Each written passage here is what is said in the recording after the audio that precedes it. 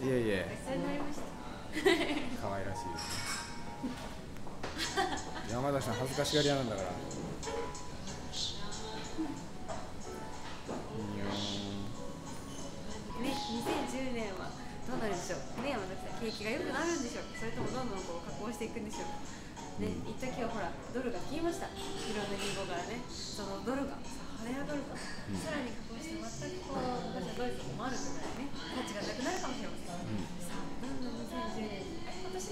何でしたっけ新しい新型インフルエンザとそうですね交代うんね、新型インフルエンザの新っていうのもちょっとね味気ないような気がしまですすねね、まだ新作映画がいっぱい出たとか、そうですねこう保険収入が上がったのはまた別なんですけどね。